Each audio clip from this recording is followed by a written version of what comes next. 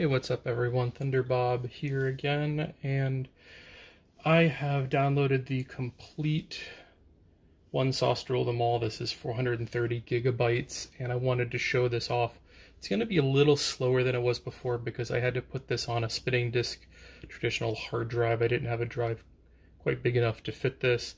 I've got a drive on the way, so I'll be able to actually run this at full speed, but it actually runs reasonably well on a, a traditional hard drive. To start off with, there's something new you'll see here, GPU on demand and performance. This is used to put the GPU on this system into um, basically almost like an overclocking mode, it seems like, from my understanding. And some of the games that utilize the GPU run considerably better in this mode. We're going to just jump right into the system. Turn the volume up a little bit, not too high though, because my daughter is sleeping. And it took a while to download this, unzip it, get it onto a drive. And uh, I haven't had a lot of time to test it. I've tried most of the systems, but I really kind of want to just show off um, everything that's in here and uh, test out a few games. So I'm not going to spend a huge amount of time, but some things I didn't get to look at the last time. So first off, like last time, you got arcades, computers, consoles, handhelds. We'll jump into arcade first. Go into all games. There's a couple more packs I've got here. Um, you'll notice it takes a little bit longer to load in because again I'm running a spinning drive. That's not that's not the pack itself. 1891 PC games and if you scroll through, like the first thing you might notice is something like this. This is a, a Naomi game, which, uh, yeah, how is that running on here? Let's go back and uh, let's sort it by systems. This is a great way to demo some of the new the new systems on here. It's nice because it's like broken up. You know, your cave shooters. You got all your Daphne games. This is all your um, your uh, Dragon's Lair and and those type of games. These all run actually pretty well, and I'd say they run better here than they do um, running them natively. Uh, some of these I'm not familiar with so much. Coleco. Oh, was pretty old. Okay. We're going to go to the ones that I know. Which are going to be two of them. There are Sega Naomi games, which there's some exciting ones in here. Let's see. Border Down's a pretty cool shoot 'em up. Got a couple of Street Fighter games. Chaos Field. Crazy Taxi. This is a good one. And I'll just demonstrate this one while I'm here. I know this one runs pretty well.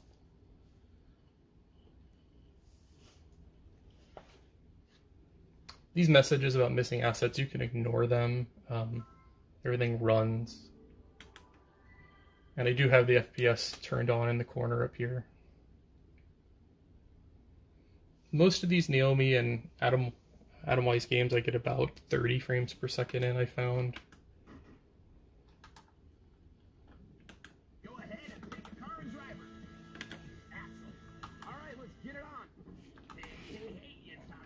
And these are running slightly lower resolution. It's not quite 640 by 480. Let's see, okay, drive, brake. And actually, I've got a couple of copies of this game on here. There's also a Dreamcast version, a good demo, but there's not a huge difference between them. Getting uh, 30 frames per second. Oop. Hit reverse. Uh, forward and reverse are controlled by pushing up and down on the stick. Too far. Break. Okay. Yeah, I'm not going to get too deep into this. That's Crazy Taxi. We know what Crazy Taxi is. You got your Dead or Alive. And some of these work better than others. One that I'm uh, disappointed that it's not working It's House of the Dead. It'll run, but there's a lot of texture problems, which I found I think has to do with the hardware in this machine. Um, might be fixable. Gigawing's pretty good. You got a couple of Guilty Gear games here. There's like a Resident Evil Gun Survivor, which was an arcade Resident Evil. And uh, I do want to figure out how to get these running using the trackball or a gun. I figured it had to do it with all the MAME games, these Naomi ones. I haven't figured out yet. This is a really good one. This is a kind of a 2D, 3D-ish shoot 'em up game. Vertical scrolling, all that good stuff.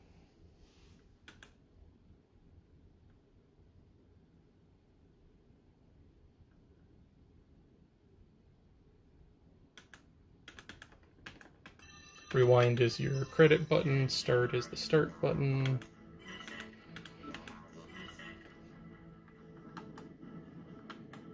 And pretty much all these run about 30 frames per second, which in some cases I think was what they ran in the arcade. Some of them definitely aren't quite hitting what they did in the arcade. This is a cool game where you switch colors between white and black, and like when you're black, the black bullets don't hurt you, but rather um, fill up your resources and you get bonus points. And I've got this on the GameCube, but it's been a very long time since I've played it. Pretty awesome game though. Yeah, I'm not very good at it. We'll keep going because there's a ton of stuff to show. Uh, let's keep looking.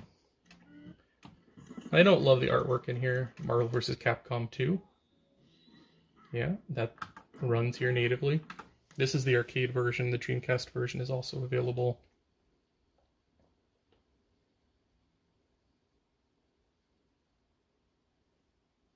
And again, uh, running off an SSD or a flash drive, you're going to get better loading times. Like this is probably about 10 seconds where an SSD is like two seconds.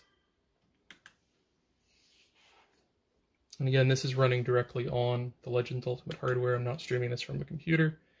This is using the One Sauce. It does require um, firmware 4.15, which means you need to have a 1.0 cabinet. This will not work on the, the newer 1.1 cabinets. Don't even try.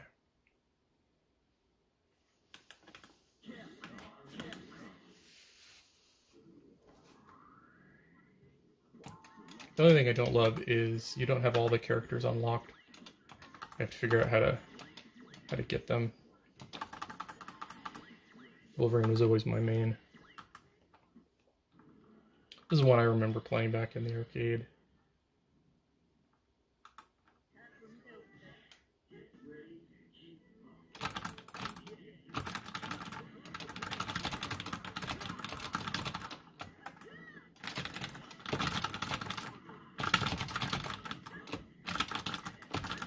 I can remember how to do his Berserk Barrage.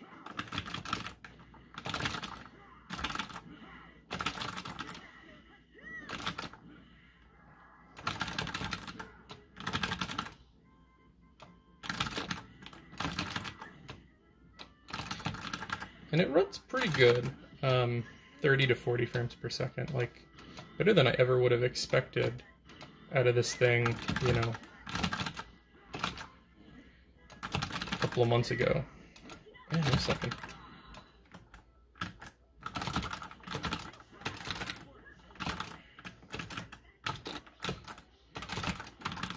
I'm but mashing like crazy. Alright, but you get the idea. It's definitely playable.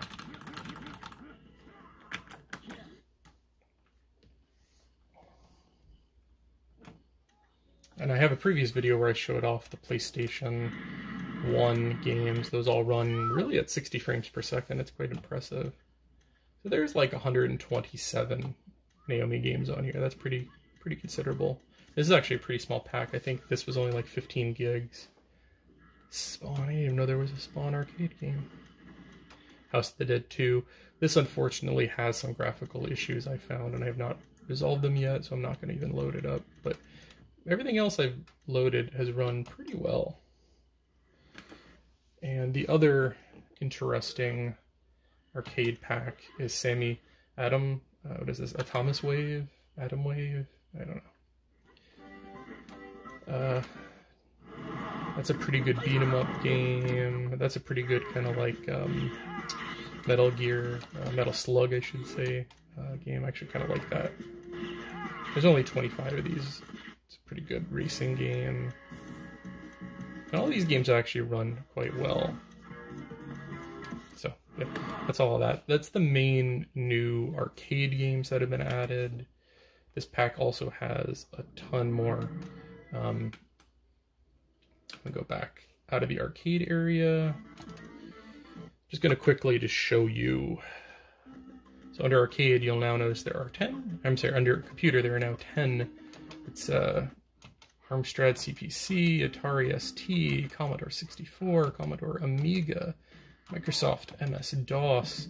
And in this MS-DOS, it's kind of interesting. Um, you know, uh, things like, where is it? Commander Keen, all the Commander Keen games. It's a Conan game. Duke Nukem, Doom, Flashback, Gauntlet. Oh, that's on arcade anyways. Heretic, Hexen, just naming the ones I know. Jazz Jackrabbit. Yeah, all the King's Quests. They put a lot of time and effort into this. So Prince of Persia. It's like a hundred DOS games on here. Those are the ones I'm more familiar with. Uh, Microsoft MSX. OpenBOR. This is really interesting. I showed it off last time, but they've added a considerable amount of new content to it. Now there's 54 different tables. So really ridiculous games. Like um, you want Chrono Trigger as a beat 'em up game. It's an interesting Contra Redux. Just a ton of interesting um, kind of homemade, homebrew video games. So I'm definitely going to spend some time going through some of these. They're not all as polished as, you know, um, brand new game is going to be. Ports I showed last time. Let's jump out of computers and right into consoles. And you'll notice there's 27 systems now. Amstrad, Atari 2600, 5200, 7800, a Bailey Astrocade. Who even knows what a Bailey Astrocade is? I didn't. ColecoVision, Commodore, Commodore CDTV, Fairchild Channel F, and they've added art, video for like all of these. Vectrex. This kind of sucks because I think you need the overlays to really make this work right, and I don't know that they've got those set up. I haven't really played with it much, but Magnavox, TurboGrafx CD and 16, Nintendo 64, which of course I showed off last time. Um, a lot of these games haven't been fully tested, but a couple of them work really well. Mario Kart works well. Super Mario 64 works well. Uh, Nintendo, there's like 800 NES games. 3DO is kind of interesting. Um, this is kind of a around the time of like Neo Geo or 32X, but there's some games in here that I kind of want to check out. Um, stuff I missed, a couple of multi-disc games, different versions of Flashback, Hell, just some interesting looking games. Uh, kind of a, I think, a superior version of Night Trap to the to the uh, Sega CD. Super Shark. A lot of them are bad FMV games, of course. Syndicate. Yeah, so some good stuff in Panasonic 3DO. That's a system. Uh, oop, I hit the start instead of the rewind button. What is this, soccer? Uh, let's back out. Alone in the Dark, Brain Dead. And uh, these games seem to run about 60 frames per second. So 3DO runs beautifully. 32X. It's a good collection of 32X games. 47 of them. And these run all beautifully. I know someone had got these running on the system uh, through the normal UCE method, but it ran so poorly it just wasn't worth it. But here you can run all these games.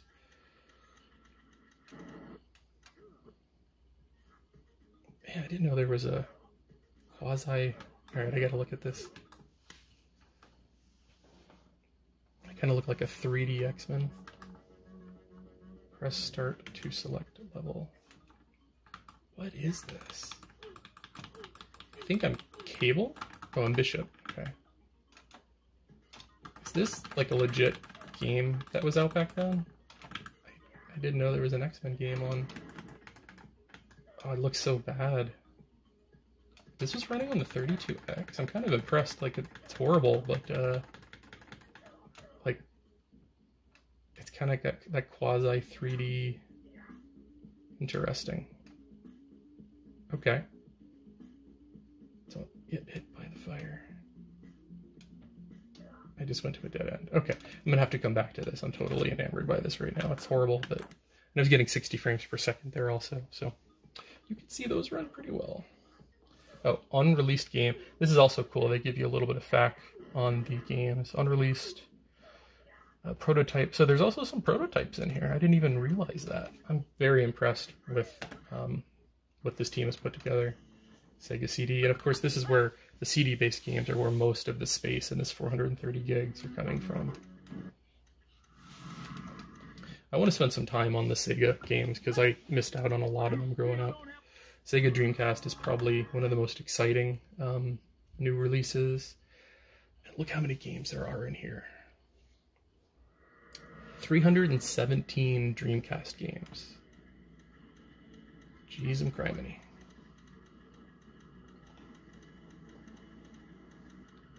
Crazy Taxi here, Crazy Taxi 2. Some of these, I've got a, a 256 gigabyte SSD, and I think that I can probably cut out enough to make this pack from 430 fit onto that 265 and be comfortable with it. You can hear my hard drive uh, spinning to keep up with this. This I found, Gauntlet Legends. This is the best native version that will run um, Nintendo 64 has some issues. PlayStation runs, but just looks terrible. This is kind of a compromise. It's not 60 frames per second, but um, it doesn't look as horrible. And you'll notice there's no bezel on some of these systems. Uh, I, I understood that they took off the overlays, the bezels, the shaders to get every ounce of performance um, out of this thing. Like it barely runs um, the Dreamcast games, the Naomi games. I do notice that for some reason it's squished up top too. I'm not completely sure. I went through and tried to adjust that and I could not, so I might need to play around with that. But uh, yeah, I'm getting about 18 here. When I actually got into the level, I was getting around 30. This is a game I really enjoyed back in the day. I played it on uh, the arcade a bit, uh, I think, yeah, it was the Nintendo 64 version that I put quite a few hours into. I don't know how many times I've seen this cinematic.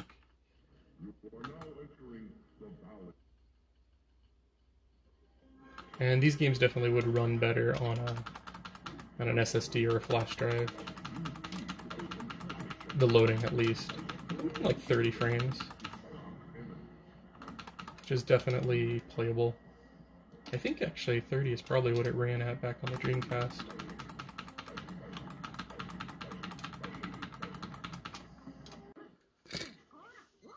And there are a ton of Dreamcast games here. There's like 300 or so.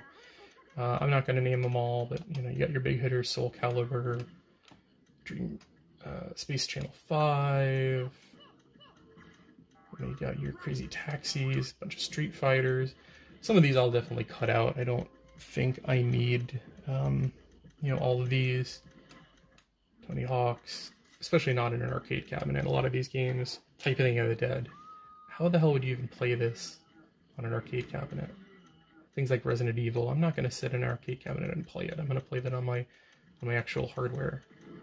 Uh, so yeah, I'll, I'll leave the arcade style games on here so they'll fit on an SSD. Let's back out. So that was Dreamcast, Genesis, Master System, SG-1000. Yeah, your Neo Geo AES, which was the home version, and you got the CD.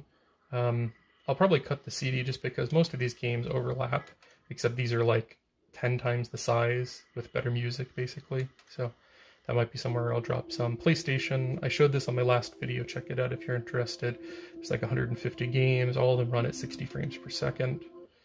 Super Nintendo, and then back. And then we'll jump into handhelds, show you what got added. Uh, starts off with Atari Lynx, Bandai Wonder Swan, Bandai Wonder Swan Color, Game & Watch, Game Boy, Game Boy Advance, Game Boy Color, Virtual Boy, Game Gear, Neo Geo Pocket Color. This Virtual Boy, I read that they actually add the 3D filter, and if you have glasses, you can actually experience the games in 3D. So that's pretty cool. Yeah, and look how many. Just want to jump in Game Boy Advance here. There are 1,021 Game Boy Advance games. I don't even know if I'd ever play these, especially on an arcade game. Uh, but it's pretty cool that they're all here. I think this is probably close to the full uh, full release. So by my estimate, there's there's probably 10 to 20,000 games in this pack, in this 430 gigabyte pack, all with unique art, unique graphics, unique videos. Just really, really awesome package that they put together. I wanted to show this. The previous video was when they're about halfway done releasing packs, and now they've released the whole thing. Um, yeah, so you got Naomi and uh, Atomiswave, you got Dreamcast added, you got a ton of computers, a ton more handhelds and console systems. It's just a cool pack. Again, a word of warning. Um, in order to run this, you do need to have a 1.0 console.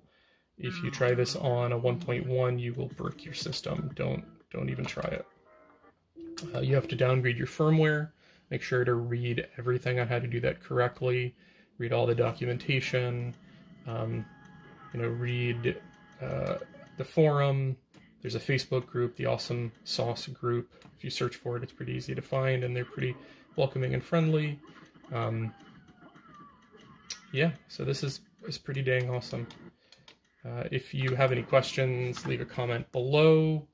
Uh, if you want me to check out anything in particular, see how it runs, also leave a comment and I will be happy to assist you. But uh, yeah, that's where we're at. 60 frames per second PlayStation, 30 frames per second on the Naomi and Dreamcast systems. Uh, pretty much anything older is going to run close to 60 frames per second. And uh, the only thing you'll lose is on the older firmware, of course, you're going to have limited online multiplayer, online leaderboard support is probably not there anymore. Um, I actually have uh, Gamer Pro coming, which I'm going to keep up to date, and I'm going to do that stuff on the Gamer Pro, and then I'm going to uh, play, um, you know, the larger amount of arcade-style games on my, uh, what's the name? On my cabinet here. So I'll have the best of both worlds. This is a pretty cool game here. So again, thanks for watching. If you enjoyed this, uh, I've got a ton of videos on the Legend Ultimate and classic games in general. If that's your thing, check it out. I also have a pretty big amount of content on virtual reality. VR is kind of a passion of mine. Um, how do I shoot? Okay. Definitely check out some of my VR videos. And I've also do a lot of previews, reviews of newer games. Uh, if you're into that, check some of that out if you like it. Think about subscribing. I would definitely appreciate it. Thank you. Have a good night, everyone.